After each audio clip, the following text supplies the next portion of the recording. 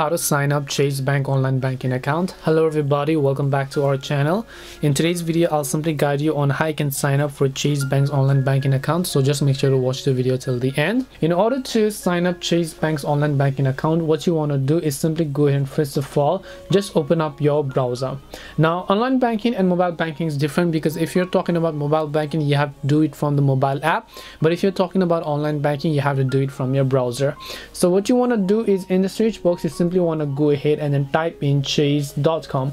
I'll also make sure to drop a direct link down in the description box. I just want you to visit chase.com first.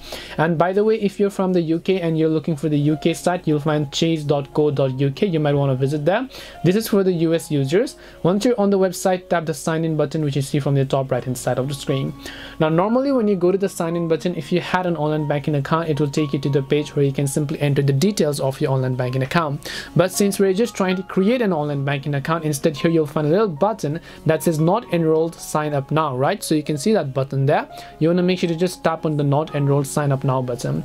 Then once you've done that on the next specific page, it's going to ask you for a couple of other information such as your banking details, your social security number, your access to the phone number or the email address that you uh, told or provided to the bank. So select what type of online banking account you want to create. You can just select the card or account number or application number.